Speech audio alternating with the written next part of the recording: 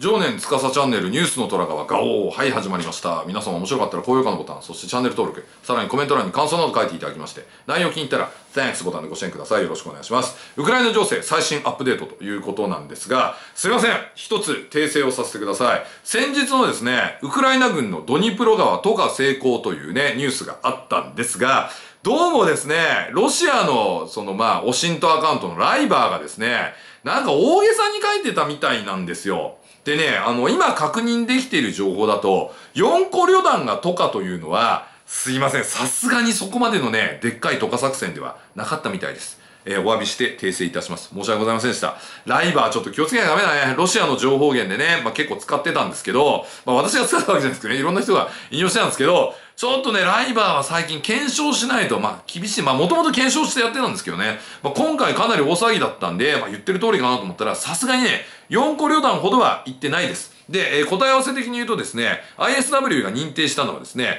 2個中隊規模ということです。で、こちらね、ISW のレポートにあるんですが、えー、これね、ロシアの情報筋ということで、まあ、ライバー以外のいろんなところもまあ、含めてだと思うんですけれども、ウクライナの海兵歩兵旅団、2個中隊規模の部隊が、10月17日から18日にかけて、ドニプロ川を越えて、ヘルソンの東側、まあ、左岸ですね、に突撃を行ったと。18日に公開された、えー、ジオロケーション付き映像によると、ウクライナ軍は、ピニャ、えー、ピシャ、ピシャニフカですね。ピシャニフカ。ヘルソンの東14キロ、ドニプロ川から3キロの北、えー、ポイマ、ヘルソンの、えー、東11キロ、ドニプロ川から4キロに進行したと。えー、著名なロシアのミルブロガー、えー、軍事ブロガーですね、は、二つのウクライナの突撃グループが、ドニプロ川の東岸に、えー、上陸し、ロシアの、初期防衛陣地を突破して、えー、10月17日の午後にポイマと、えー、ピシャニフカの北郊外の陣地を、えー、一時占領したと主張と。えー、その後、ロシア軍はこの陣地からドニプロ川に向かってウクライナ軍を押し戻したと、えー、主張しているということなんですが、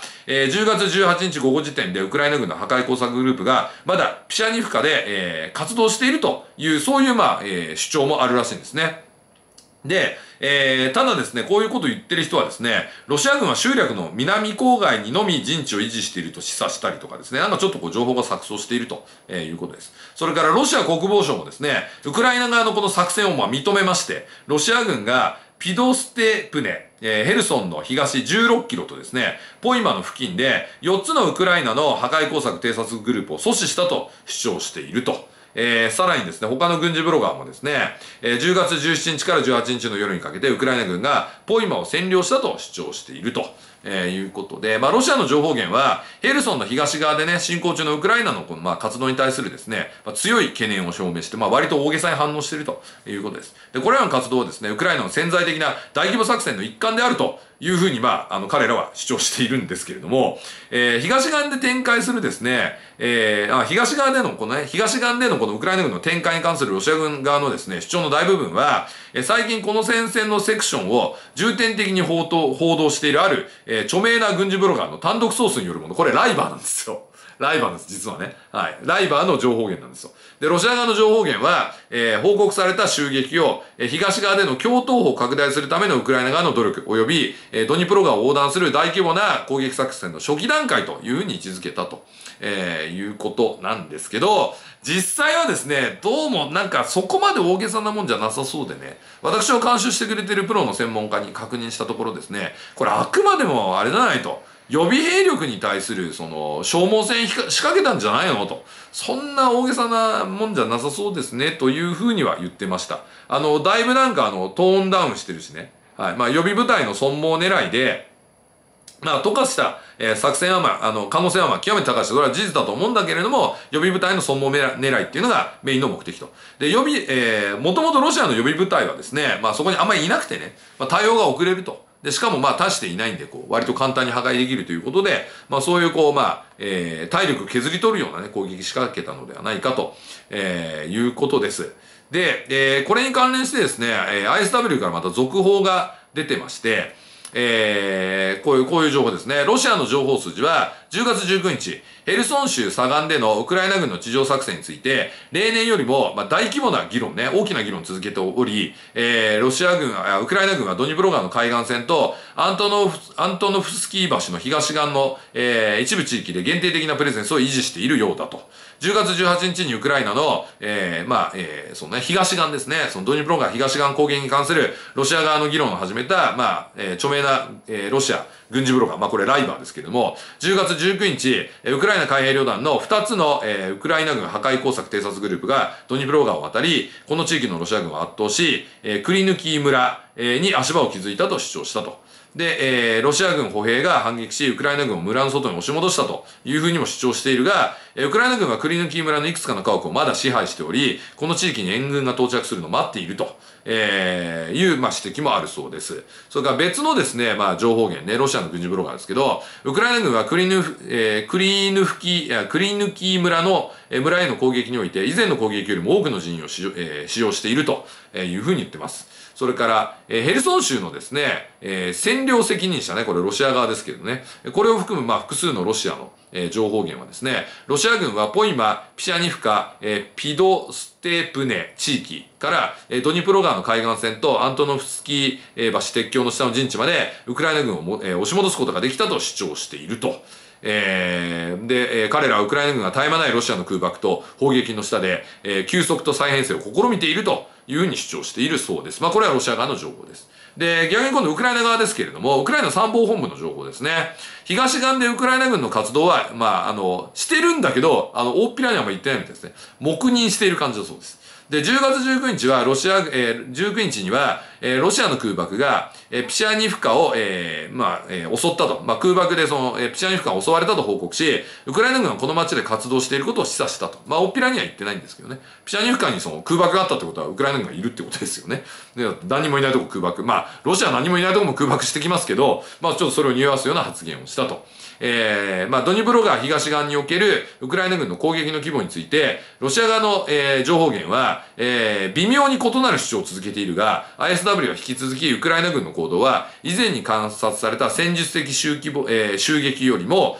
えー、大規模であるようだと評価しており、入手可能なジオロケーション映像は、えー、ロシア軍の反撃にもかかわらず、ウクライナ軍が海岸沿いに、えー、海岸沿いと、えー、それから、えー、アントノフ、アントノフスキー、えー、鉄橋付近ですね。で、えー、存在感を維持していることを示していると、えー、いうことで、まあ、ウクライナ軍が、まあ、渡河作戦やったのは事実。で、えー、まあ、この慎重な ISW がですね、まあ、前のそのね、いろいろちょっかい前も出してましたけれども、前のこう偵察行動よりは大規模なもので言っていると。で、さらに、その、まあ、ロシア側の情報源が言ってるようにね、まあ、ちょっと錯綜してるんですけど、ロシア側は、押し戻したとかなんとかっていうのも、いや、押し戻せてないんじゃないと。まだいるんじゃないみたいなところまではまあ事実です。で、まあ、もろもろ総合すると、やっぱり結局ね、私を監修してくれてる専門家の言ってることが、まあ、割と正しいのかなと。予備兵力の、まあ、損耗を狙ってですね、もともと手薄だったところを、こう、意地悪くつっついてるのではないかと、えー、いうことになるのかなと。まあ、ウクライナはこういう攻撃が、まあ、必勝パターンですよね。はい。敵の兵隊を叩く。ね。で、その兵隊は弾薬もそうだし、それから、えー、司令部叩きますよね。えー、さらに最近は大砲そのものもターゲットにしてぶっ壊してますよね。はい。で、こういうまあ行動を、まあこのヘルソン川のね、えー、ヘルあヘルソンのまあ東岸ですね、東岸に対してもまあ今、えー、続けているということです。で、これに関連してですね、一応ニュースが、あの、他にも、えー、ありまして、えー、これですね、えー、これ BBC ですね。ウクライナ軍、ロシア占領のドニプロ川東岸に部隊を進めたかというね、まあこれも BBC にも出るような話になってるのもほぼほぼ事実だろうと、えー、いうことです。で、これによるとですね、えー、ドニプロ川を東に渡り、えー、ウクライナ軍がロシア支配地域へ進んだという情報が、えー、まあ事実上ですね、まあ認めたと、ウクライナ参謀本部がね。はい、というニュースです。で、えー、ISW もまあ、あのー、ドニプロ川から東へ4キロぐらいも進んだんじゃないかと、えー、いうことです。でね、こう、ちょっとなかなかいいまとめがあってね、ウクライナ軍はこれまでも何度かドニプロ川を東に越える小規模な作戦を散発的に実施しているものの、今回の渡河作戦とその後の前進は、さらに大規模な渡河作戦に備えて支配地域を拡大するのが目的と推測されていると。で、ウクライナ参謀本部の、えー、発表よりも数時間前に ISW は、ロシア消息筋の話として、えー、中大規模と思われるウクライナ軍の海兵歩兵、えー、海軍歩兵ニコ旅団がドニプロ川を越えて、東側へ至ったと、えー、いうようなことをまあ発表して、まあこれはまあ私がずっと紹介してるやつですね。それからあと、えー、ウォーゴンゾね、えー、ロシアの軍事ブロガーですけれども、ドニプロ川の、えー、東岸で戦っているウクライナ軍の部隊はイギリスで訓練されたと、えー、いうふうにあの書いているそうです。まあこれももう何を根拠に言ってるのかよくわかんないですけどね。はい。で、えー、まあそんな中ですね、まあこの、えー、ウクライナの必勝パターンね、あの、まあ平坦を叩くっていうのが、まあいろんなところで実施されてまして、つい最近ですね、えー、ルハンシク市ですね、それからあとベルジャンシク、ね、これも南の方ですけど、まあ、ここでですね、エイタクムスによるあの攻撃がありました。飛行場に対する攻撃で、クラスター弾を使ってですね、ヘリコプターをぶっ壊すというですね、非常にまあ画期的な動きがありました。で、ISW にもですね、ルハンシク市の方のね、えー、攻撃についてまあ書いてあるのがありますので、これちょっと読むとですね、えー、10月18日に公表された衛星画像、えー、をソースとしてます。えー、ウクライナ軍のエイタクムスにによる、えー、ルハンシク市の飛行場への攻撃は、えー、ヘリコプター数機に損害を与えた可能性が高いと。えー、いうことです。で、これはね、あの、オシントアカウントのたたり、たたり神さんもこれ確認してて、えー、ぶっ壊されてですね、羽とか取り外して、修理に出すためになんか運ばれるようだみたいな、えー、ツイートをされてました。で、ISW のレポートさらに読むとですね、えー、ウクライナとロシアの情報源の話として、ルハンシク市に、えー、飛行場、えー、ルハンシク市の、えー、飛行場に対するウクライナの攻撃の余波を、えー、示す衛星画像を、まあ、その、えー、まあ、割と拡散したと。ウクライナの予備役将校は、えー、画像を分析し、ウクライナの攻撃が少なくとも5機のロシアのヘリコプターに損害を与え、えー、飛行場の他の車両にも影響を与えた可能性があることを示唆したと。えー、さらに空港のエプロンね、えー、軽車路の、えー、焦げ跡がクラスター弾によるウクライナの空爆を、ええー、まあ、えー、焦げ跡がクラスター弾によるもんだと、えー、いうふうに述べていると。えー、それからですね、えっ、ー、と、ルハンシク市の、えー、飛行場に残って、えー、えー、と、ベルジアンスクの飛行場ですね。えー、ベルジアンスクの飛行場でやったのと、えー、まあ、同じパターンでこのルハンシク市もやられていると、えー、いうことです。で、えー、っとね、えー、ベルジャンスクではですね、ヘリコプター9機、対空ミサイルランチャー1機、特殊装備、えー、弾薬庫、滑走路インフラが、えー、破壊されたと、えー、いうふうにしている。で、まあ、ウクライナはまあそういうふうに言ってるんですけど、まあ、ISW はですね、この損害はまだまあ確認できていないと。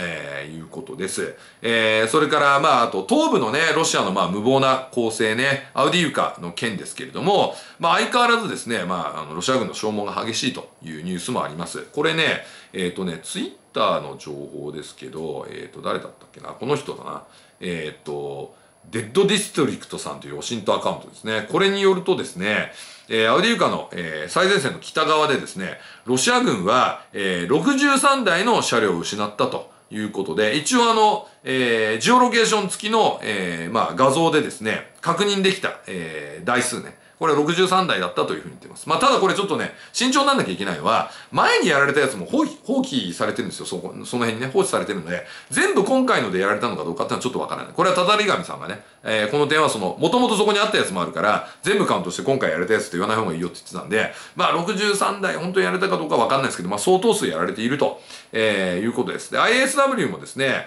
えー、まあ、ウクライナ関係者が10月19日に明らかにした情報としてですね、アウディウカ近郊でロシアの地上車両が多数損耗する中、ウクライナ軍がドネツク州で過去10日間にロシアの固定翼機を5機、えー、撃墜したと、えー、いうふうに言ってます。これはあの、渡辺元陸将もですね、SU35 でしたっけね、また最近、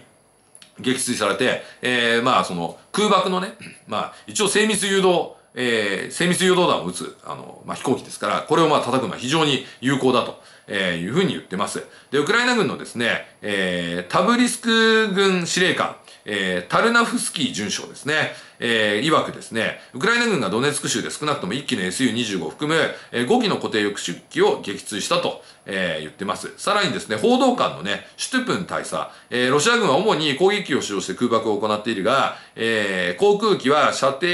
距離で、えー、効果がないため、ロシア軍機は前線に接近して、えー、飛行することを余儀なくされ、その結果10日で5機を失ったと。まあ、要はその射程距離が短いから、だからまあ前の方に出てきちゃうんですね。それで撃ち落とされてると。えー、さらに、さらにですね、シュトゥプン大佐は、ウクライナ軍が、えー、さらにロシア軍機に損害を与えたという未確認の報告もあるというふうに言ってます。で、えー、ロシア軍もですね、SU-34 と SU-35 の戦闘機を、えー、タブリスク方面で運用しているが、えー、ロシア軍はウクライナの防空を恐れて、これらの戦闘機を前線近くに飛ばしていないというふうに報告したということなんですね。まあ、あの、ロシア軍は現在進行中のですね、アウディーウカでもですね、えー、まあ、ここでもね、その支援攻撃みたいなことをね、この空軍機を行ってるんですが、えー、高い資材で、まあ、コストを払い続けており、えー、それらのですね、リソースの損失が続くことで、この地域でのロシア軍の、えー、前進ペースが鈍化する可能性が高いと、えー、いうことで、まあ、相変わらずこのアウディーウカのですね、消耗戦を続けながら、ね。しかも、えー、ヘルソンの方ではね、ウクライナ軍の奇襲を許しですね、まあ結構やられて、まあ情報空間も大混乱するという状況の中でですね、まあ戦闘が継続しているという状況でございます。はい。なので、またこれ大きな動き、どうかな、出てくるかなとは思うんですけども、なかなかロシアもしぶといのでね、今ロシアもね、だいぶその資材とかをですね、あの、マリウポリとかね、あの辺集めて、なんか要塞化を図っているという情報もあるので、まあ今の戦線突破したとしてもですね、その先まだね、守りの方や、本当に主勢に回られたら結構厄介なので、まあ、この後もまだまだ、え課題山積というところで引き続きウォッチを続けていきたいと思います。ということで、今日の内容面白いなと思った人はぜひ高評価のボタンとチャンネル登録、さらにコメント欄に感想など書いていただきまして、内容気に入ったら、Thanks ボタンでご支援ください。よろしくお願いします。ガオー